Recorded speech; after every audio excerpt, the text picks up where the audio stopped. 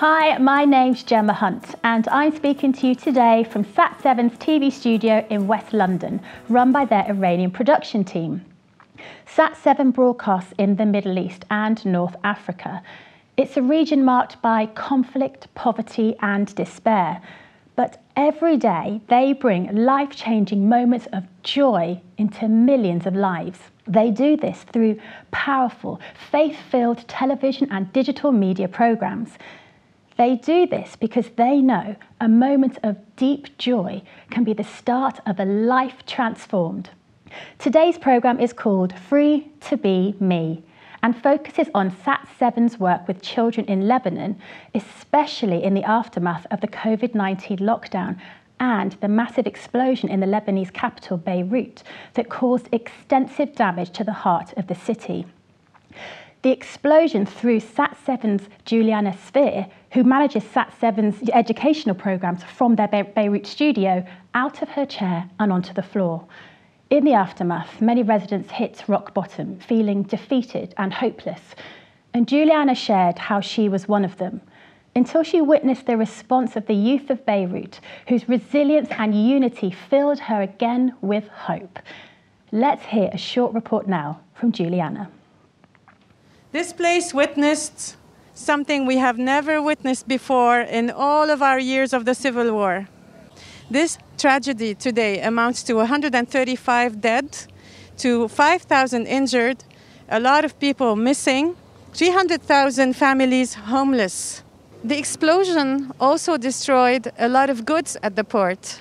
Uh, we hear of our wheat, for instance, uh, stacks of uh, medicine, and every day we hear of uh, new shortages. Behind me is one of the initiatives of the youth of Lebanon, the youth of Beirut, cleaning, distributing water to those who, who are volunteering, distributing uh, sandwiches, bread to the old people, to all those who live alone. The Lebanese people today need hope. They have lost hope in their politicians, they have lost hope in the future. Please pray. Pray for protection from another civil war. Please pray for um, protection from immigration as well. A lot of our young people will want to leave now. Please pray for us here at SAT7 to be the church that heals, to be the church, the wounded church that will be able to extend healing to the people on the air and on the ground. Thank you. You can hear more about how to support SAT7 later in the programme. Now, in the midst of all this, it was a real privilege last week for me to make a new friend with Marianne Awaraji. Now, she is a presenter with Sat7 Kids, a dedicated children's Arabic channel, which broadcasts from Sat7's biggest studio in Beirut. Now, as many of you might know, I'm also a children's TV presenter and a mum, and I believe passionately that children should be given opportunities to be themselves. I mean, isn't that what every parent wants for their child? To be able to say that they're free, free to live the lives that God intends for them. Well, I heard Marianne talk about how, in the midst of it all, faith filled television is bringing freedom and joy to children in the Middle East. And I'm sure that if I came to her studio, then I would see it with my own eyes. But sadly, I can't visit at the moment. But I am really pleased that we can go live to her and her team right now as they have just finished broadcasting their new live children's show called Hello Marianne. So let's join her now.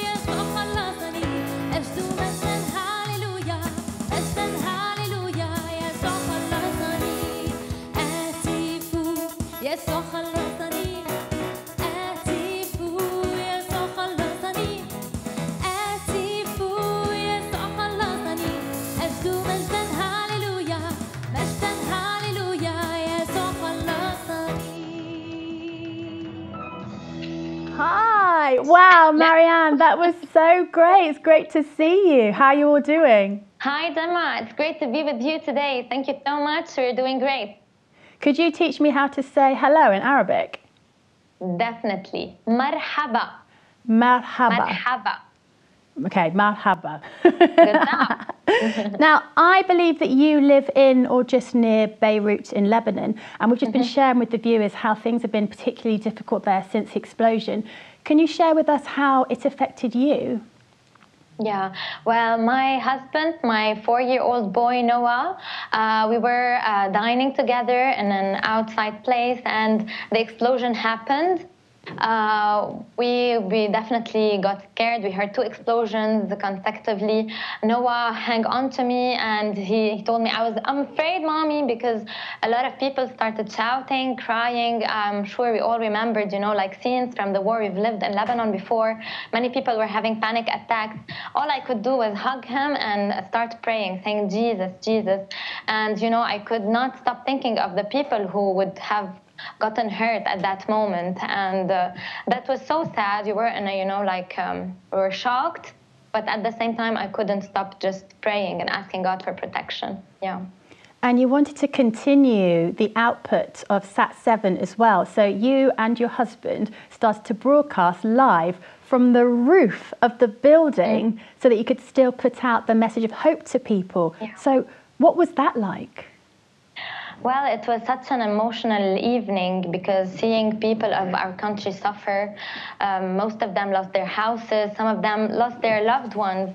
Um, it was so heartbreaking. So we wanted just to have an evening of worship and prayer. We prayed for the hurt tearfully uh, because it reminded us, you know, of the verse in the Bible that says that the Lord is close to all those who are brokenhearted and crushed by pain, and He is always ready to restore them.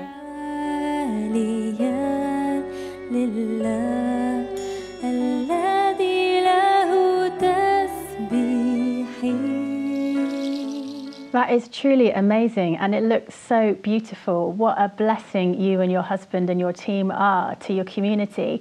So, how do you feel now that the mood is in the city? Do you feel like that has really helped to lift people's spirits?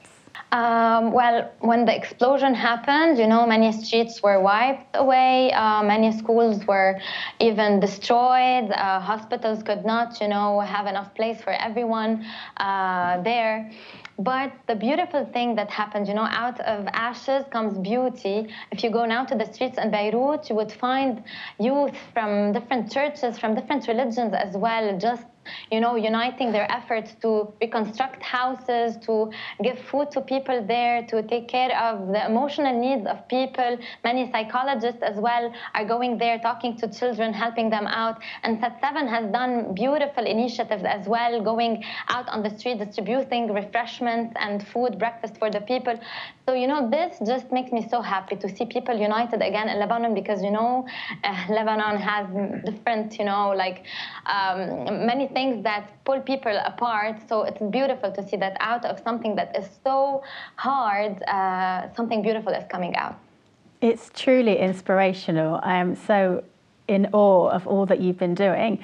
And as I mentioned earlier, we are both children's TV presenters, uh, just in very different places. so, mm-hmm. how did you get into presenting for children and getting involved with SAT7? Um, well, I began presenting programs for kids on Sat7 when I was only 10. I was such an introvert and shy person. Um, and it was for me a mere job from, from which I took my pocket money. But then at the worship conference when I was 14, I truly experienced what the presence of God is. And this changed my whole view of God. He, he ceased to be the faraway God from whom I was scared uh, and I wanted to only please because I'm afraid of a punishment. He became a father and a really close friend to me uh, with whom I could share anything, you know, like uh, whenever I used to be so sad, uh, so, you know, uh, when, when you're a teenager, there's peer pressure around you at school. I used to go to him, to cry out to him and make a song. I would write a song to express my love and my feelings feelings to Him. And that's why now I really focus on worship in every show I do. I want to teach kids to connect to God through worship, to lift a song of praise, a song of, you know, like uh, sadness. I express my sadness to Him, my gratitude to Him. So, worship for me is key to my relationship with God. It's amazing that you can make it so much a part of the job that you do. I think for me, I've worked in TV for a very long time and haven't always been able to openly share my faith. And yet, I kind of, in a way, knew that I didn't need to because I had this prophetic word that was spoken over me when I was about wow. 16 that I would be salt and light in the dark place of the media. And so I've wow. always had this comfort that even though I may not be able to actively talk about my faith on camera, I know that Jesus and his light is shining out of me in the places that I'm working in, which is pretty awesome. Definitely. I'm sure as you're an influencer and kids are following you, you know, instead of following some other you know, bad images of idols, they can follow you and see the the grace of Jesus through you. Yeah. Gemma, I have a question for you. Yeah. Are you ready? Okay. Okay, so so we've all been through very hard moments as kids, you know, that made us suffer in a way, but uh, pushed us towards God. So when I was a kid, I was bullied because I was a very shy person. I studied hard and I was like the church girl. So kids used to stay away from me and make fun of me. And that really hurt. But it made me go to God with my sorrows, my worries. And you know, He changed me and He was the source of comfort to me. May I know um, what uh, have you been through as a kid and that drew you closer to God? Well, my parents separated when I was three or four years old. And so I think my, my whole world just changed very quickly. Everything that I saw as normal then became very different. And that's something we can all relate to in the current climate. Yeah. But at that young age, I just felt like, what is going on? And thankfully, my mum has always been a church goer, and I continue to go to church with my mum. When I was visiting my dad, I didn't get to go the weekends I was with my mum, I actually got to go and go to church. And I think it was through the church community, knowing who Jesus was, that he loved me, even though my parents didn't love one another anymore. It wasn't because of me. And he made me feel valued and appreciated wow. in the church. And yet, my home, home life was very different, but I had this assurance of who I was in mm. Christ. And that has definitely been the one thing that has been like my backbone throughout my whole walk, my whole journey through life, just knowing that Jesus is there. And it's like people say, oh, it's terrible to have a crutch. I'm like, Jesus is my crutch. I'm going to lean on him because he gets me mm-hmm. through everything. How are you coping without him? yeah, definitely. You're definitely right. Thank you for sharing that. No, it's a pleasure. Now, just a few moments ago, you finished your wonderful show, Allo Marianne, where children in Lebanon can actually call in live and take part in the show. How have you been helping support children and their mental health in this time? So during the month of COVID-19, um, kids were all isolated at home, and Sat7 launched the show Allo Marianne program. Uh, it's aimed to provide a safe space for children to express their emotions, but we had no idea how necessary this show would become. You know, after the explosion, um, we started encouraging viewers, even in Lebanon, to to call to express their feelings. Um, it was okay to feel sad or afraid, but they need to take it out you know, to put it in the right place. So we launched, um, you know, like a campaign where we would encourage kids to send us videos of them, uh, maybe singing, acting, drawing, to just put everything out. And this is, I think, a very good a kind of therapy to uh, to let them know that they're not alone. We're here to support them, to listen to them, and we want them to express what's inside. The lines were flooded with callers uh, throughout the Arab world, praying for their friends in Sat7 in Lebanon. And you know, we've always wanted to support these kids, but we were really touched this time to see kids supporting us and, you know, just calling and they want to check on us and pray for us. So we feel that we built this beautiful, these beautiful bridges between kids from all over the, the Arab world. Uh, they feel that they have a support system, uh, people, friends praying for them from all over the world, uh, supporting them, thinking of them. And this alone makes you feel, you know, valued and loved and cared for. And I think this is the need of each person, let alone kids. Definitely. And you said how it's like therapy for the children. And Yeah. so I suppose for you, being a singer songwriter, that's like therapy for you as well, especially yes. having gone through the, the war in Lebanon in 2006. So do you think that this current sort of war that we find us in, the war with coronavirus, is really going to help children and their faith through SAT7 in this time? Yeah, well, uh, during summer 2006, um, I was so young, and my daddy used to go to the army, and I heard him once say that he is going to have to go and fight. I cannot remember that night. I went to my room, I cried out to God, and I said, Please, God, protect him, let him stay here with me. And I will never forget, I, I wrote a song that, that, that night. It says, How could I be scared? How could I feel weak when you're always, Lord, awake here beside me? And I remember the next day I came back home and I learned that daddy was not going to go to war. And I praised God was so happy. And, you know, from that day on, he started doing such miracles, small miracles that really mean to a child. And I wanted to transmit this to kids, you know, to teach them that he's here, he listens to you.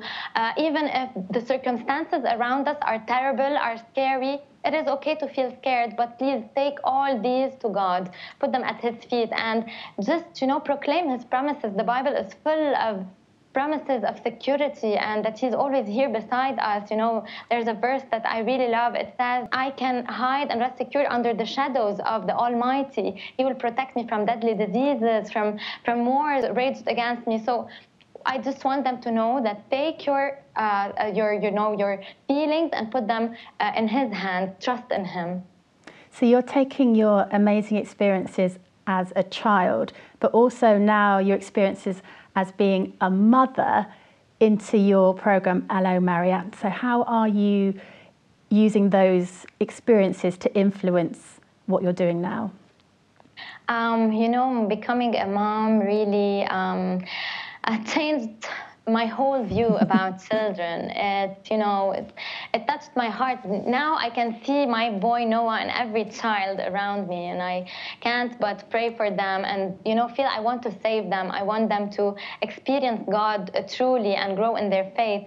In their faith. Um, you know, I know now how to relate more with kids, uh, to know what scares them, what entertains them, uh, what makes them, really frustrated. And I can think of new ways now to relate to them and to, you know, teach them biblical truths in simple and interactive ways because I do that with my son and I learn while doing that with him. So I think that helped me a lot with how I uh, interact with my viewers. It's really good, isn't it? Because when we're trying to imitate Jesus, children learn through imitation. So therefore, if they're imitating us, they're imitating Jesus. Wow, that's very true. Yes. now, I wanted to ask you about an amazing story from a lady called Sarah who watched your program Let's Sing Together when she was growing up. Now, I've heard about this story, but could you tell us about it? Definitely. So, Sarah was four when she first tuned into Sat 7 uh, from her home in Syria. And, you know, soon she, you know, like Sat 7 became her top channel. And she used to love all the song. And one of my programs, old programs, uh, Let's Sing Together, uh, she worshipped with us. She memorized the, the all the songs. And then she, uh, re- she, she said when she was 14, all the songs all the things she had learned make her made her faith grow, and she was able to, you know, um, with all the peer pressure in her in her school, she decided I want to follow Jesus and take love from Him and not from anywhere else in the world. And when you know the um, when uh, the war broke in Syria, that's where she she kept strong by holding on to every truth she learned from the Seven shows, and that was amazing for me. And now uh, she works in a displaced and orphaned uh, center in Syria. She serves with kids there, and she uh, like uh, she takes all her resources and materials from Sat7 kids shows, and which is amazing, truly. She said they stayed in my mind, and I've kept them with me as I've grown up. This is so touching and so wonderful to hear.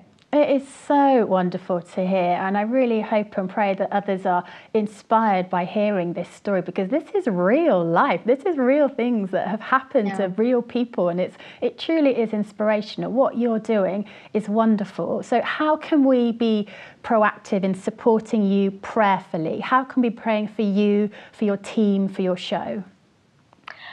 Um, there's a lot to pray for, and um, I think what I think uh, first is I want us to pray for peace, which passes all understanding, to be in the hearts of the children who are affected by the explosion um, I want to also please to pray for parents as they deal with many material needs and the impact of their own mental health sometimes while also supporting their children. And this is a big struggle now for parents in the Middle East. Um, I would like us also to pray for provision of housing, of food, medical care, uh, and for people to be able to return to the sense of normality again after all the bad things that have happened. And finally, it would be great to pray for seven kids programs. Uh, I pray with all my heart that they may keep on bringing joy, showing love, strengthening, you know, their faith, the faith of children in such times, not only in Lebanon, but in all the Middle East. Well, let's say amen to that right now, and we will keep praying for all of those things as well.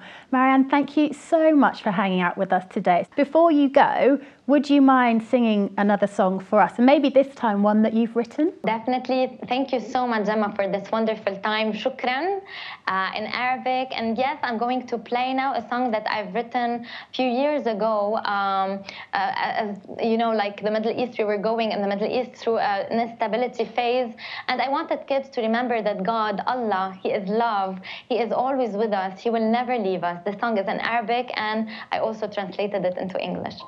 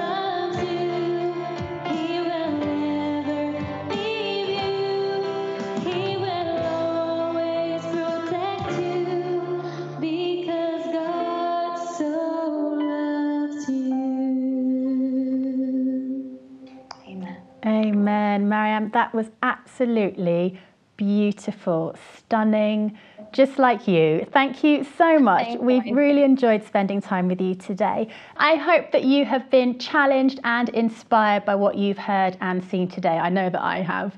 Now, as a mum and someone who works with children in media, I think it's really crucial to help kids reach their potential and find real joy. All over the world, families are finding life really difficult, but in places like the Middle East, the challenges are long standing. Even before the pandemic, conflicts, uprisings, and poverty prevented children from learning and flourishing, from being free, free to be me. But in the midst of it all, as you've heard today, Sat7 broadcasts faith-filled programs that bring joy into millions of homes, homes like Sarah's, who we heard about just a few minutes ago. So will you help? Will you become a joy bringer today? Just £10 a month enables Sat7 to broadcast joy to over 240 children for a whole year. To find out more, please call 0300 365 0377 or visit sat7uk.org. Now, it just leaves me to say shukran for watching and for your support and goodbye. Masalama.